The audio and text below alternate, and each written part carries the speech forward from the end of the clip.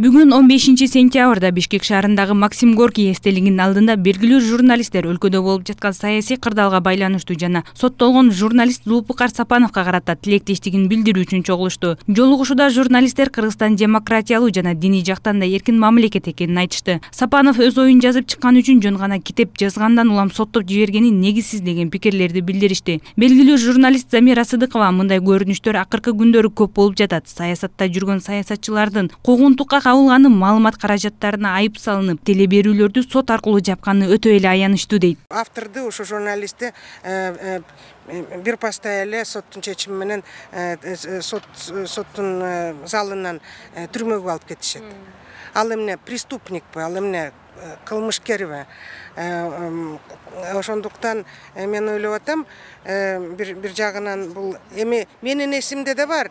Токсон жетинчи жылы мени да ошентип первомайский соттун залынан камап ошондой чечим камакка жиберип ийишкен алып кетишкен дейм да.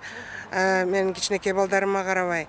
Талкууга журналисттерден тышкары сөз эркиндигин коргоо комитетинин өкүлдөрү жарандык активисттер да өз ойлорун айтышты. Алар сөз үчүн философиялык көз караш үчүн адамдын эркиндигинен ажыратуу өнүккөн мамлекеттер арасында да болгон эмес деген ойлорун ачык билдиришти. Биринчи ирет э, журналисттин э, журналисттерге карата э, бийлик тарабынан кысым. басым эмес. Буга чейин дагы өзүңөр билесиңер болуп келген.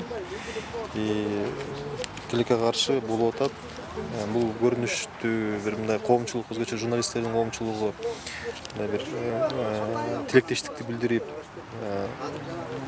бирдиктүү позицияда болбосо бул ыплас тажрыйба улана берет. Эскерте кетсек акын журналист зулпукар сапанов он экинчи сентябрь күнү диний кастыкты козуту деген айыпталып төрт жылга эркинен ажыратылган. Журналисттин китеби эки миң он алтынчы жылы сентябрь айында кыдыр санжырасы аталышта жарык көргөн. Зулпукар сапановго китепте исламга шек туудурган тексттер бар деген жүйө менен сот залынан камакка алынган. Аяна мелисова дастан кадыркулов некст тв күндүн темасы үчүн